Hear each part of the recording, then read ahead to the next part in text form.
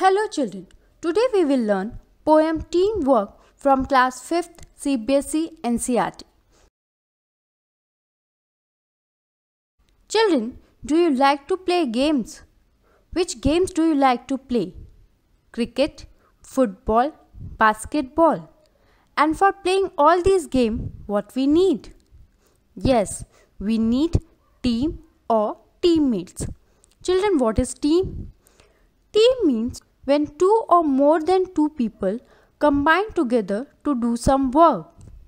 But do you know what are the advantages of teamwork? The advantages of teamwork are you get more ideas, more creativity, more people to complete any work.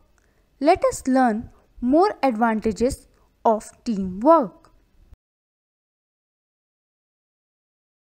Teamwork, teamwork, together we can make our dream work.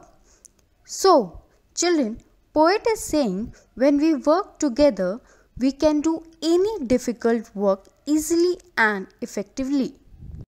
Then we share the joy of what we have done. Teamwork, everyone. In team, you have people with you to share the feeling of happiness when you complete any work together. For example, children, what we see in cricket match?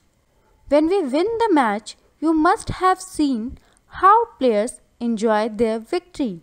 Teamwork everyone. It's fun to shoot the basketball through the hoop, but if nobody passes, then nobody shoots. And the relay race just can't go on if nobody wants to pass the baton. In this stanza, poet has given the example of games to show that every person in the team is important and as a team we should see that everyone is participating. Like if in a basketball game nobody passes the ball or if in a relay race game nobody passes the baton, we can't win. And if a team wins or loses, everyone should share the responsibility for that. We are the parts that make up the whole and we have got our eyes on a common goal.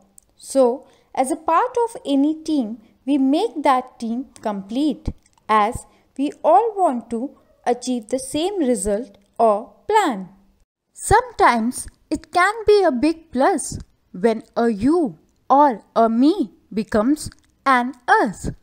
On some occasion, it becomes very beneficial or a big advantage when I and you work together as a team.